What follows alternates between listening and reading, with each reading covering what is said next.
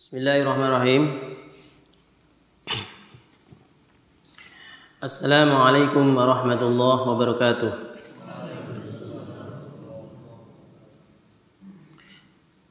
Alhamdulillah wassalatu wassalamu ala Rasulillah wa ala alihi wa ashabihi wa man ittaba'a hudah amma ba'd.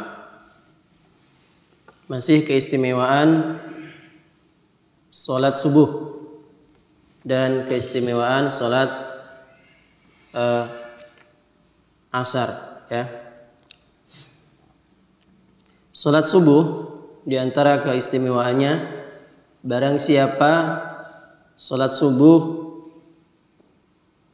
secara berjamaah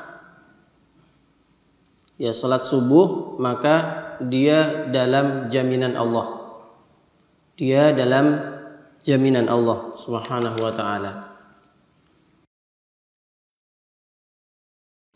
Maka orang yang dalam jaminan Allah jangan sampai diganggu. Jadi kalau orang saya jamin ini orang ini keselamatannya saya jamin. Yang mengatakan saya jamin adalah orang yang sangat terkenal mungkin e, misalkan kalau misalkan di negara kita pejabat misalkan kok orang ini dijamin keselamatannya ada orang yang berani ganggu berarti dia berani eh, sama sama juga berani kepada orang yang jamin keselamatannya gitu jadi orang dalam kejaminan seseorang itu tidak boleh diganggu siapa pun. Nah, kalau dalam e, negara Islam seperti zaman Rasulullah ya, jadi biasanya ada suatu negeri e, dia itu ada ada jaminan. Kalau ini negara dengan negara, ada negara kecil atau desa tertentu atau kota tertentu dia e, ada perjanjian ya atau dijamin oleh misalkan Madinah menjamin kampung ini. Jadi kalau ada orang nyerang kampung ini berarti sama juga menyerang Madinah karena dia dalam jaminan e, Madinah. Dijamin oleh Rasulullah misalkan. Walaupun bukan orang Islam, walaupun bukan orang Islam gitu. Jadi orang yang pergi ke, ke suatu daerah yang di situ maka nggak boleh di diganggu. Maka dalam Al-Qur'an itu kan illal ladzina yasluna ila qaumim bainakum wa bainahum mitsaq. Jadi kecuali jadi orang tuh kalau memusuhi kemudian uh, dia dimusuhi gitu. Kecuali dia pergi ke tempat yang ada perjanjian. Jadi akhirnya ikut aman juga gitu. Masya Allah. Apalagi yang jamin adalah Allah.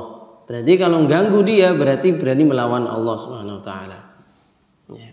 Jadi hadisnya Rasulullah SAW bersabda, "Man shalla as-subha fahuwa fi dhimmatillah."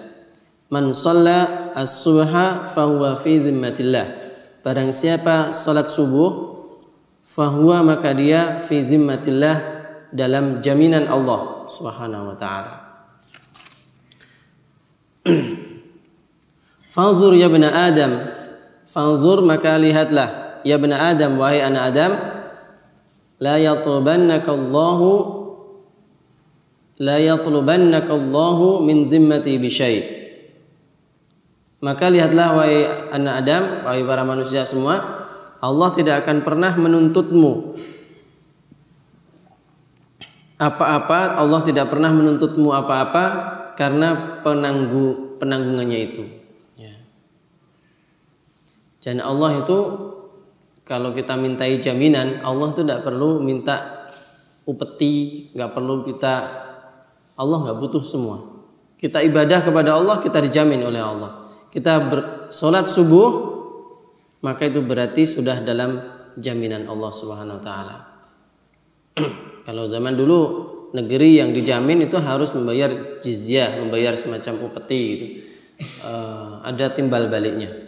Ada timbal baliknya. Tapi kalau kepada Allah cukup salat subuh Anda sudah dalam jaminan Allah Subhanahu wa taala.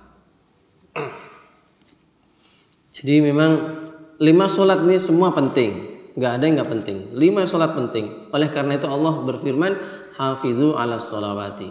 Jagalah salat semuanya. Dan ciri-ciri orang yang masuk surga Firdaus adalah walladzina hum yang akhir itu walladzina hum ala salawatihim yuhafizun. Orang-orang yang menjaga salat-salatnya ini ditunaikan dengan baik waktunya dan rukun rukun-rukunnya dan ditunaikan dengan khusyuk. Nah, ini dijaga semua lebih khusus lagi salat subuh. Dia lebih ada perhatian khusus, perhatian khusus.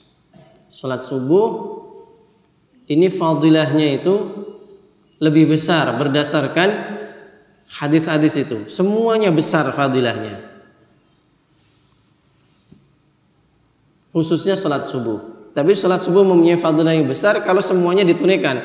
Salat subuh saja kemudian maghrib enggak, isya enggak. Ya hilang nanti fadilah salat subuhnya. Enggak jadi dalam zimatillah. jadi orang salat subuh ini uh, dia menjaga semuanya ya. Kemudian dia menjaga salat subuh dengan lebih baik lagi. Nah, itu akan dalam tanggungan Allah Subhanahu wa taala. Jadi kalau orang takut kepada Allah, saya pernah ketemu orang yang sangar. Kemudian dia tuh uh, nggak nggak ada takut sama siapa-siapa. Suatu saat dia itu berseteru dengan seseorang gitu. Kemudian memukul atau gimana gitu. Terus nggak jadi. Dia ingat, uh jangan-jangan ini sholat subuh. Kalau sholat subuh, saya berarti nerjang jaminan Allah. Karena dia juga ngaji gitu ini cerita orang tersebut ke saya. Jadi eh, orang ini walaupun sangar kuat, tapi ketika dia eh, ngaji dan tahu hadis ini, kemudian yang berseteru juga orang Islam juga. Nah, ketika dia memukul, dia ingat dengan hadis Nabi ini. Man sholat subha fahuwa fi zimmatillah.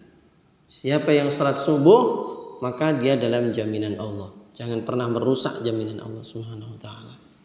Sama orang Islam itu yang baik.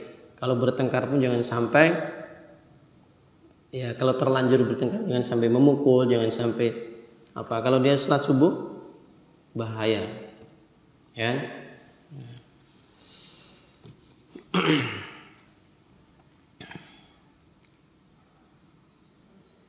Kita baca hadis secara sempurna ya. Nah, kita baca hadisnya secara sempurna. Qala al-Imam An-Nawawi rahimahullah taala وعن جندب بن سفيان وعن جندب بن سفيان وعن جندب بن سفيان رضي الله عنه قال قال رسول الله صلى الله عليه وسلم man shalla subha fahuwa fi dhimmatillah fanzur ya ibn adam la yatlubannaka Allah min dhimmatihi bi syai'in rawahu muslim ya artinya dari sahabat Jundub ibni Sufyan dia berkata Rasulullah Shallallahu Alaihi Wasallam telah bersabda barang siapa melakukan salat salat subuh dan salat suha fahuwa fi maka dia berada dalam tanggungan Allah. Fanzur maka lihatlah ya bani Adam wa ya Adam la yatlubannaka Allahu la yatlubannaka tidak meminta kepadamu. Siapa yang tidak meminta? Allahu Allah. Allah tidak meminta kepadamu. Min zimmatihi dalam jaminannya dari jaminannya itu bisyai'in ditukar dengan sesuatu apa pun. Ya. Rawahu Muslim, hadis riwayat Imam Muslim. Semoga bermanfaat. Allahumma anfa'na bima 'allamtana wa 'allimna ilman yanfa'una. Wa sallallahu ala nabiyyina Muhammadin wa ala alihi wa sahbihi wasallam. Walhamdulillahirabbil alamin. Wassalamualaikum warahmatullahi wabarakatuh.